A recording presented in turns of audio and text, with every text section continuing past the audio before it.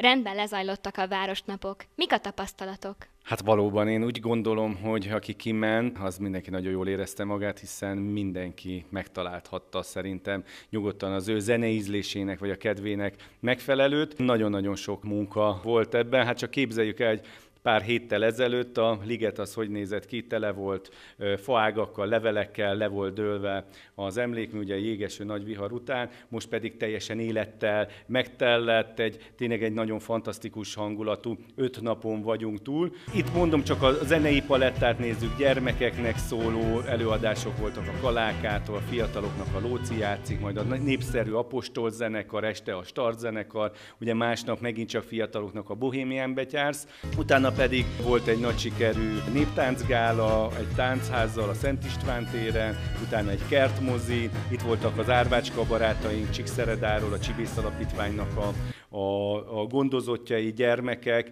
majd pedig augusztus 20-án természetesen ez a legnagyobb ünnepünk, elismeréseket adhattunk át, szerintem nagyszerű embereknek Zalaszengróton, és ez pedig egy Wolf Kati élő koncert zárta, és azért is fontos, azért mondom ezeket, mert, mert mind élő koncert volt, mindegyik én szerintem és a visszajelzések alapján is nagyon jó minőségűek voltak, és meg tudtuk mutatni azt, hogy igenis Zalaszengrót is tud egy nagyon jó minőségű kis fesztivált, rendezvénysorozatot létrehozni.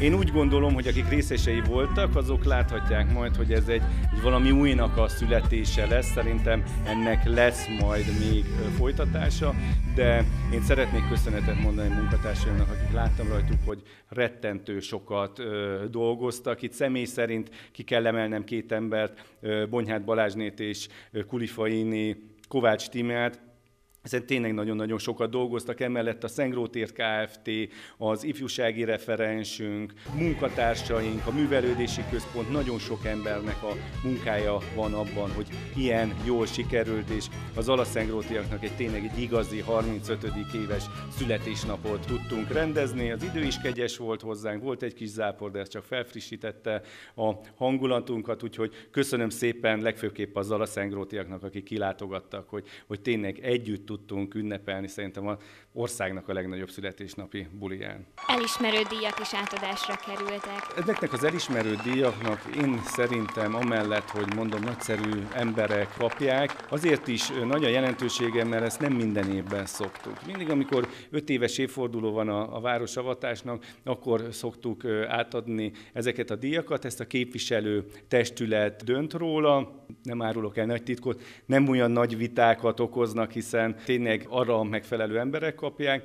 Nyilván nézzük azt, hogy az előzőekben kik kaptak díjakat, úgyhogy így alakult ki most az a díjazottaknak, akik ezúttal is szeretném megköszönni a munkájukat, azt a több évtizedes munkájukat, amit Zalaszengrót életében tettek. Akkor sikeresnek tekinthető a rendezvény. Tervezik-e a folytatást? Igen, ugye mondtam, hogy ezt folytatni kell, de szerintem, szerintem mindenki így van vele.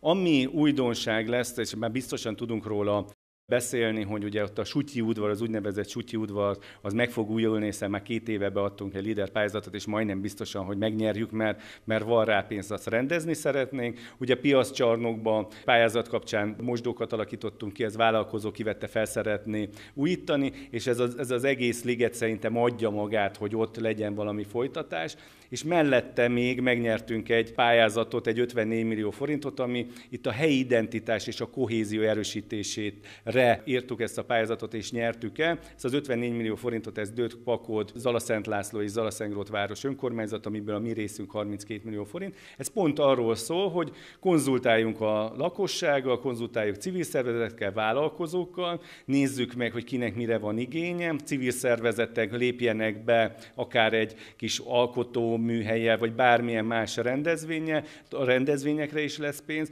úgyhogy jövőre már, már kapjuk a tippeket, hogy kiket embereket hívjunk meg, hogy mindenkit meg szeretnénk hívni, és újra meg szeretnénk, viszont magasra tettük a lécet. Most azt akartam mondani, hogy még jobbat, de, de én de még jobbat fogunk jövőre csinálni. Ha tényleg, ha még több munkába fog tenni, akkor is jobbat fogunk csinálni belőle.